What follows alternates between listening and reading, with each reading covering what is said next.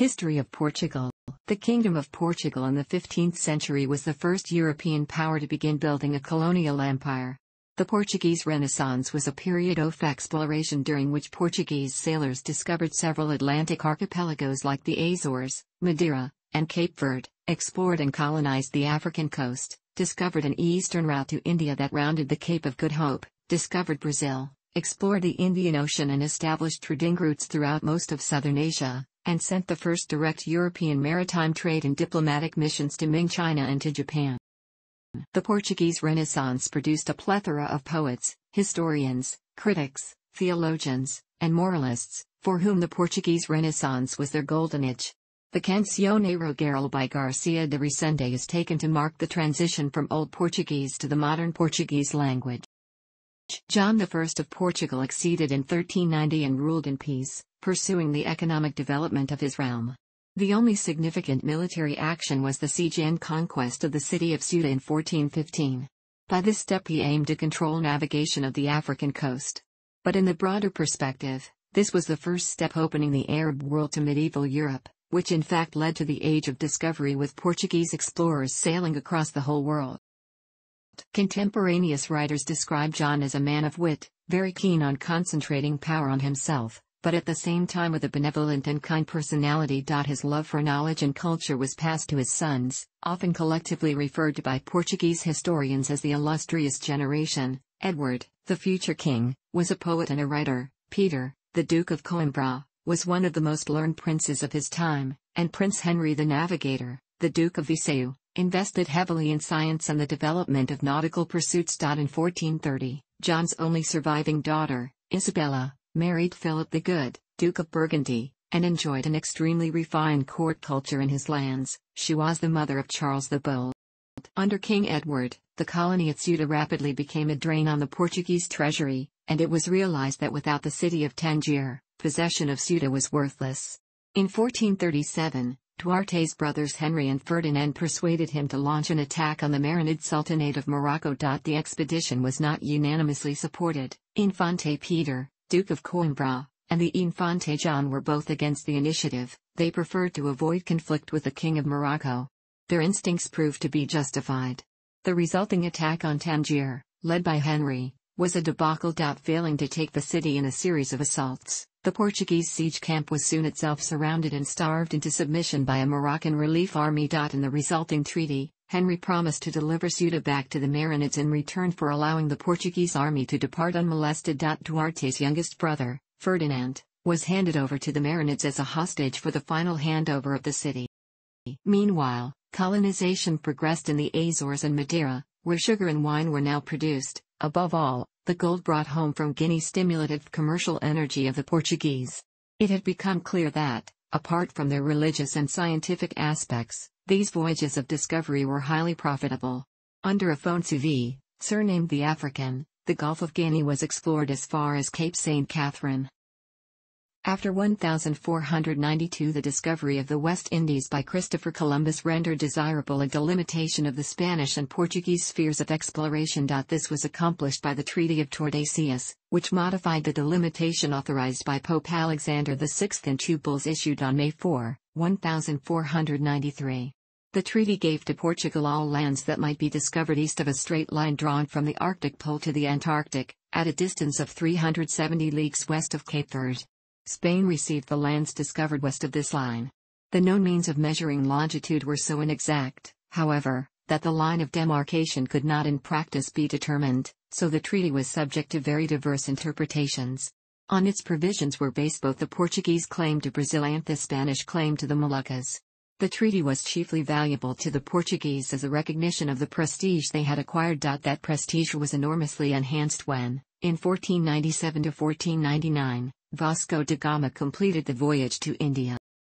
The tendency to secrecy and falsification of dates casts doubts about the authenticity of many primary sources. Several historians have hypothesized that John II may have known of the existence of Brazil in North America as early as 1480, thus explaining his wish in 1494 at the signing of the Treaty of Tordesillas to push the line of influence further west. Many historians suspect that the real documents would have been placed in the Library of Lisbon. Unfortunately, Due to the fire following the earthquake of 1755, nearly all of the library's records were destroyed, but an extra copy available in Goa was transferred to Lisbon Torre do Tombo during the following 100 years. The Corpo Chronologico, a collection of manuscripts on the Portuguese explorations and discoveries in Africa, Asia, and Latin America, was inscribed on UNESCO's Memory of the World Register in 2007 in recognition of its historical value for acquiring knowledge of the political, diplomatic, military, economic and religious history of numerous countries at the time of the Portuguese discoveries. While the crown was thus acquiring new possessions, its authority in Portugal was temporarily overshadowed by the growth of aristocratic privilege. After the death of Edward, further attempts to curb the power of the nobles were made by his brother, D. Pedro, Duke of Coimbra, who acted as regent during the minority of Afonso V of Portugal. The head of the aristocratic opposition was the Duke of Braganza, who contrived to secure the sympathy of the king and the dismissal of the regent. The quarrel led to civil war, and on May 20, 1449, D. Pedro was defeated and killed at the Battle of Alfarrobeira. Thenceforward the grants made by John I were renewed and extended on so lavish a scale that the Braganza estates alone comprised about a third of the Holy Kingdom. An unwise foreign policy simultaneously injured the royal prestige, for Afonso married his own niece, Joanna, daughter of Henry IV of Castile, and claimed the Kingdom of Castile in her name. At the Battle of Toro, in 1476, he fought an indecisive battle that made him realize that his claims to the Castilian throne were not achievable. However, Portugal defeated Castile in the naval war of the same conflict, capturing a large Castilian fleet full of gold in the Battle of Guinea. In 1479 Ferdinand and Isabella and Alfonso signed the Treaty of Alcáçovas, by which Joanna was relegated to a convent and Portugal won the hegemony in the Atlantic Ocean. His successor, John II, reverted to the policy of matrimonial alliances with Castile and friendship with England. Finding, as he said, that the liberality of former kings had left the crown no estates except the high roads of Portugal, he determined to crush the feudal nobility and seize its territories. The Portuguese Cortes held that Évora empowered judges nominated by the crown to administer justice in all feudal domains. The nobles resisted this infringement of their rights, but their leader, Fernando II, Duke of Braganza, was beheaded for high treason in 1483. In 1484 the king stabbed to death his own brother-in-law, Diogo, Duke of Viseu, and 80 other members of the aristocracy were executed afterwards. Thus John the Perfect, as he was called, assured the supremacy of the crown. He was succeeded in 1495 by Manuel I, who was named the Great or the Fortunate, because in his reign the sea route to India was discovered and a Portuguese empire founded. John II famously restored the policies of Atlantic exploration, reviving the work of his great-uncle, Henry the Navigator. The Portuguese explorations were his main priority in government, pushing south the known coast of Africa with the purpose of discovering the maritime route to India and breaking into the spice trade. Manuel I proved a worthy successor to his cousin John II, supporting Portuguese exploration of the Atlantic Ocean and the development of Portuguese commerce.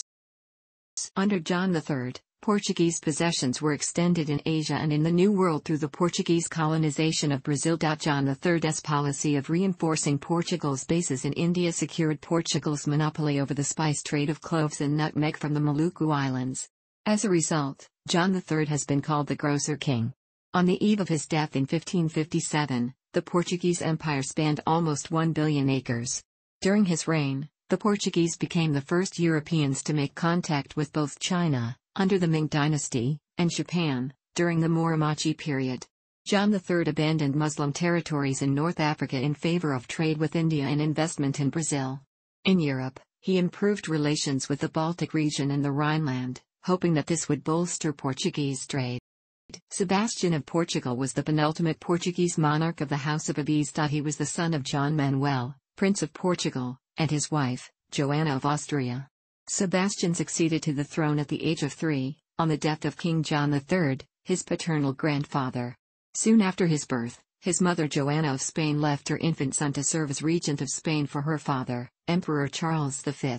After his abdication in 1556, she served in the same capacity for her brother Philip II of Spain. Joanna remained in Spain until her death in 1573, never to see her son again. Since Sebastian was still a child, the regency was handled first by his paternal grandmother, Catherine of Austria, and then by his great uncle, Cardinal Henry of Évora. During this period Portugal continued colonial expansion in Angola, Mozambique, and Malacca, as well as the annexation of Macau in 1557. During Sebastian's short personal reign, he strengthened ties with the Holy Roman Empire, England and France through diplomatic efforts. He also restructured much of the administrative, judicial and military life in his kingdom. In 1568, Sebastian created scholarships to provide financial assistance to students who wished to study medicine or pharmacy at the University of Coimbra. In 1569, Sebastian ordered Duarte Nunes de Leão to compile all the laws and legal documents of the kingdom in a collection of leis extravagantes known as Código Sebastianico. During the Great Plague of Lisbon in 1569, Sebastian sent for doctors from Seville to help the Portuguese doctors fight the plague. He created two hospitals in Lisbon to take care of the afflicted. In his concern for the widows and orphans of those killed by the plague, he created several recolhimentos, known as the Recolhimento de Santa Marta and the Recolhimento dos Meninos, and provided wet nurses to take care of the babies. Sebastian created laws for the military, the Lei das Armas, that would become a military organization model.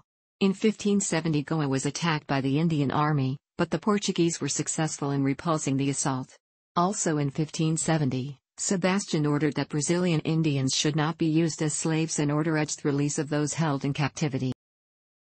The Celeiros Comuns were inaugurated in 1576 on Sebastian's orders. These were lending institutions intended to help to poor farmers when farm production decreased, giving credit, lending seeds and commodities to the needy, and allowing them to pay back with farm products when they recovered from losses. In 1577 Sebastian's Ordinance de Nova Ordem do Juízo, sobre o abreviar das demandas, e execução delas decreased the time for handling legal actions, regulated the action of lawyers, scribes and other court officials, and created fines for delays. Sebastian disappeared in the Battle of Alcácer Quibir in 1578, after the brief reign of King Henry triggering the Portuguese succession crisis.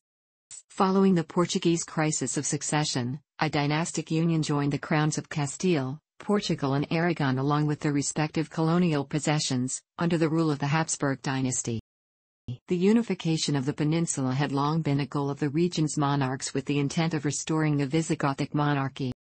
The history of Portugal from the dynastic crisis in 1578 to the first Braganza dynasty monarchs was a period of transition. The Portuguese Empire's spice trade was peaking at the start of this period. It continued to enjoy widespread influence after Vasco da Gama had finally reached the east by sailing around Africa in 1497-98. Portugal's long shoreline, with its many harbors and rivers flowing westward to the Atlantic Ocean was the ideal environment to raise generations of adventurous seamen. As a seafaring people in the southwesternmost region of Europe, the Portuguese became natural leaders of exploration during the Middle Ages. Faced with the options of either accessing other European markets by sea or by land, it is not surprising that goods were sent via the sea to England, Flanders, Italy, and the Hanseatic League towns. Having thought to achieve and to retain independence, the nation's leadership had also a desire for fresh conquests. Added to this was a long struggle to expel Moors that was religiously sanctioned and influenced by foreign crusaders with a desire for martial fame. Making war on Islam seemed to the Portuguese both their natural destiny and their duty as Christians. One important reason was the need to overcome the expensive eastern trade routes, dominated first by the republics of Venice and Genoa in the Mediterranean, and then controlled by the Ottoman Empire after the conquest of Constantinople in 1453, barring European access and going through North Africa and the historically important combined land-sea routes via the Red Sea. Both spice and silk were big businesses of the day, and arguably, spices which were used as medicine, drugs and preservatives was something of a necessity, at least to those Europeans of better than modest means. The Portuguese economy had benefited from its connections with neighboring Muslim states. A money economy was well enough established for 15th century workers in the countryside as well as in the towns to be paid in currency.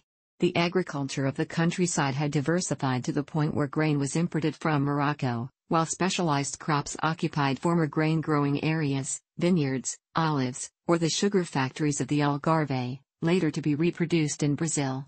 Most of all, the Avis dynasty that had come to power in 1385 marked the semi-eclipse of the conservative land-oriented aristocracy a constant exchange of cultural ideals made Portugal a center of knowledge and technological development. Due to these connections with Islamic kingdoms, many mathematicians and experts in naval technology appeared in Portugal. The Portuguese government impelled this even further by taking full advantage of this and by creating several important research centers in Portugal, where Portuguese and foreign experts made several breakthroughs in the fields of mathematics, cartography and naval technology. Sagres and Lagos and the Algarve become famous as such places. The successive expeditions and experience of the pilots led to a fairly rapid evolution of Portuguese nautical science, creating an elite of astronomers, navigators, mathematicians and cartographers, among them stood Pedro Nunes with studies on how to determine the latitudes by the stars and João de Castro. Until the 15th century, the Portuguese were limited to coastal cabotage navigation using barks and barinels. These boats were small and fragile, with only one mast with a fixed quadrangular sail and did not have the capabilities to overcome the navigational difficulties associated with southward oceanic exploration, as the strong winds, shoals and strong ocean currents easily overwhelmed their abilities. They are associated with the earliest discoveries, such as the Madeira Islands, the Azores, the Canaries, and to the early exploration of the northwest African coast as far south as Arguim in the current Mauritania. The ship that truly launched the first phase of the Portuguese discoveries along the African coast was the Caravel, a development based on existing fishing boats. They were agile and easier to navigate, with a tonnage of 50 to 160 tons and 1 to 3 masts, with lateen triangular sails allowing luffing. The Caravel benefited from a greater capacity to tack. The limited capacity for cargo and crew were their main drawbacks, but did not hinder its success. Limited crew and cargo space was acceptable, initially, because as exploratory ships, their cargo was what was in the explorer's feedback of a new territory, which only took up the space of one person. Among the famous caravels are Berrio and Caravel Annunciation. With the start of long oceanic sailing also large ships developed. Nau was the Portuguese archaic synonym for any large ship, primarily merchant ships. Due to the piracy that plagued the coasts, they began to be used in the navy and were provided with cannon windows, which led to the classification of naus according to the power of its artillery. They were also adapted to the increasing maritime trade, from 200 tons capacity in the 15th century to 500, they become impressive in the 16th century, having usually two decks, stern castles fore and aft, two to four masts with overlapping sails. In India travels in the 16th century there were also used carracks, large merchant ships with a high edge and three masts with square sails, that reached 2,000 tons. In the 13th century celestial navigation was already known, guided by the sun position. For celestial navigation the Portuguese, like other Europeans, used Arab navigation tools, like the astrolabe and quadrant, which they made easier and simpler. They also created the cross staff, or cane of Jacob, for measuring at sea the height of the sun and other stars. The Southern Cross became a reference upon arrival at the Southern Hemisphere by João de and Pedro Escobar in 1471, starting the celestial navigation on this constellation. But the results varied throughout the year, which required corrections. To this the Portuguese used the astronomical tables, precious tools for oceanic navigation, which have experienced a remarkable diffusion in the 15th century. These tables revolutionized navigation, allowing to calculate latitude. The tables of the Almanac Perpetuum, by astronomer Abraham Zacuto, published in Leiria in 1496, were used along with its improved astrolabe, by Vasco da Gama and Pedro Álvares Cabral. Besides coastal exploration, Portuguese also made trips off in the ocean to gather meteorological and oceanographic information. The knowledge of wind patterns and currents, the trade winds and the oceanic gyres in the Atlantic, and the determination of latitude led to the discovery of the best ocean route back from Africa, crossing the central Atlantic to the latitude of the Azores, using the permanent favorable winds and currents that spin clockwise in the northern hemisphere because of atmospheric circulation and the effect of Coriolis, facilitating the way to Lisbon and thus enabling the Portuguese venturing increasingly farther from shore, the maneuver that became known as the Volta do Mar. It is thought that Jehuda Cresques, son of the Catalan cartographer Abraham Cresques have been one of the notable cartographers at the service of Prince Henry. However the oldest signed Portuguese sea chart is a portolan made by Pedro Reinel in 1485 representing the Western Europe and parts of Africa, reflecting the explorations made by Diogo Cao. Reinel was also author of the first nautical chart known with an indication of latitudes in 1504 and the first representation of a windrose. With his son, cartographer Jorge Reinel and Lopo Homem, they participated in the making of the atlas known as Lopo Homem Reinéis Atlas or Miller Atlas, in 1519. They were considered the best cartographers of their time, with Emperor Charles V wanting them to work for him. In 1517 King Manuel I of Portugal handed Lopo Homem a charter giving him the privilege to certify and amend all compass needles in vessels. In the third phase of the former Portuguese nautical cartography, characterized by the abandonment of the influence of Ptolemy's representation of the East and more accuracy in the representation of lands and continents, stands out Fernão Vaz Dorado, whose work has extraordinary quality and beauty, giving him a reputation as one of the best cartographers of the time. Many of his charts are large-scale. It was the genius of Prince Henry the Navigator that coordinated and utilized all these tendencies towards expansion. Prince Henry placed at the disposal of his captains the vast resources of the Order of Christ, of which he was the head, and the best information and most accurate instruments and maps that could be obtained. He sought to effect a meeting with the half-fabulous Christian empire of Prester John by way of the Western Nile, and, in alliance with that potentate, to crush the Turks and liberate the Holy Land. The concept of an ocean route to India appears to have originated after his death. On land he again defeated the Moors, who attempted to retake Ceuta in 1418, but in an expedition to Tangier, undertaken in 1437 by King Edward, the Portuguese army was defeated, and could only escape destruction by surrendering as a hostage Prince Ferdinand, the king's youngest brother.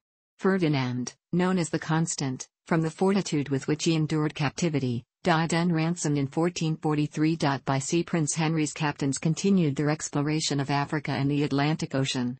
In 1433 Cape Bojador was rounded, in 1434 the first consignment of slaves was brought to Lisbon, and slave trading soon became the most profitable branch of Portuguese commerce, until India was reached. The Senegal was reached in 1445, Cape Verde was passed in the same year, and in 1446 Alvaro Fernandez pushed on almost as far as Sierra Leone. This was probably the farthest point reached before the navigator died in 1460.